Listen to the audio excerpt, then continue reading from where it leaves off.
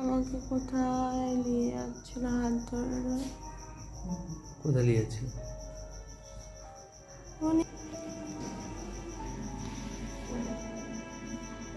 বসছিল হাত ধরে বসেছিল।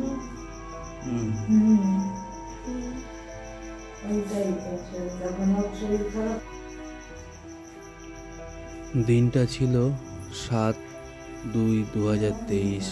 তোমাদের দিদিভাই হঠাৎই খুব অসুস্থ হয়ে পড়ে।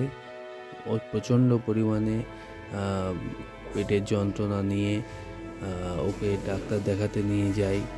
তো ডাক্তারবাবু সঙ্গে সঙ্গে দেখে বলে যে একটা সমস্যা তৈরি হয়েছে, তো সেই কারণে ওকে একটা মাইনর ওটি একটা দরকার।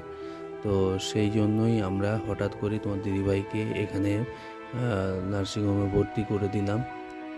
বিকেল সাড়ে চারটার সময় ওর ট্রিটমেন্ট শুরু হয়ে গেল।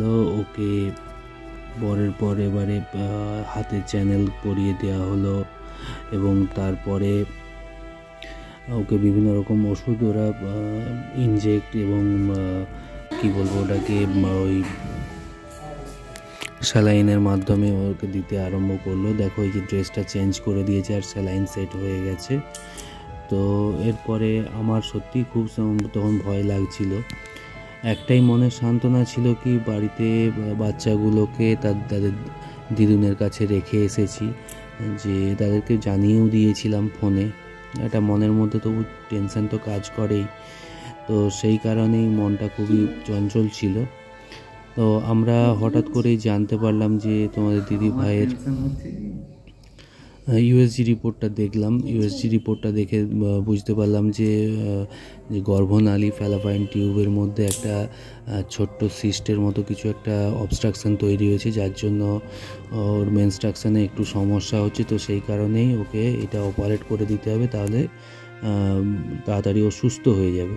তো সেই জন্য ডাক্তারবাবুর কথা মতো ওকে ভর্তি করে দিলাম। ঠিক রাত নটা দশ তখন ডাক্তারবাবু ওটিতে চলে এসেছেন এবং সেই সময় পেশেন্টকে নিয়ে গিয়ে সেখানে ওটি শুরু হলো। তো ওটি যখন চলছে দুর্ভাগ্যবশত সেই সময়টা আমি একটু বাইরে কিছু একটা জিনিস আনতে গেছিলাম সেই সময় ওকে নিয়ে চলে গেছে ওটিতে। যাক আমার বলা ছিল কোনো অসুবিধা নেই। তারপর ওখান থেকে যখন ফিরিয়ে নিয়ে এলাম তোমার দিদিভাইকে দেখো কি অবস্থা।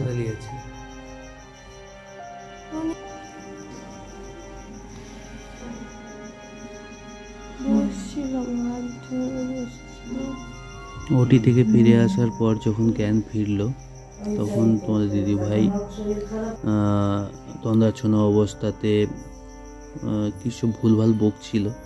তো দেখো, সত্যি কথা বলতে কি, আমি তো এই ভিডিওটা ভিডিও করব বলে ভিডিও করিনি, এটা তোমার দিদিভাইকে দেখাবো বলে ভিডিওটা করেছিলাম, যার জন্য আর আমার সাথে কেউ ছিলও না যার জন্য একটু সমস্যা হয়েছিল।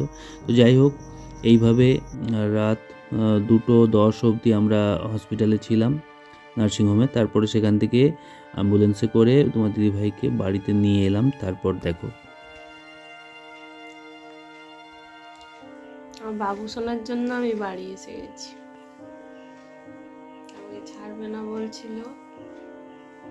তারপর রাত্রে ছেড়ে দিয়েছে। আমরা বাড়ি এসে গেছি।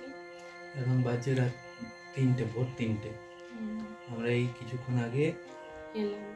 বাবু শোনার জন্য আমরা চলে এলাম। ডাক্তারবাবু আজকে ছাড় আসতে বা মানা করছিলেন কিন্তু বুঝিয়ে বলতে বুঝতে পারতে তারপর একটু দেরি করে আসতে বললেন এই এত রাত্রে আমরা এলাম। দেখো মাকে পেয়ে মায়ের হাতে এই যে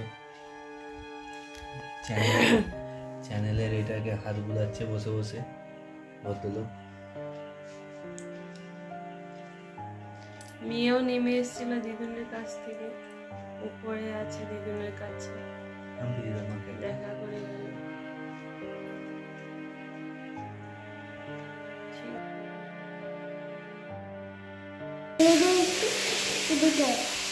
কি করেছে?